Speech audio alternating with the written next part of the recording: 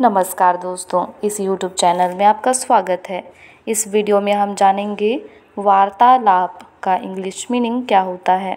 वार्तालाप का English meaning होता है conversations dialogue colloquy confabulation discourse parlance और स्पीकरशिप इसे हम एग्ज़ाम्पल से समझते हैं। Example she use to make our conversations long उदाहरण वह हमारी वार्तालाप लंबी कर देती है। इसी के साथ इस वीडियो में बस इतना ही। Thank you so much for watching my video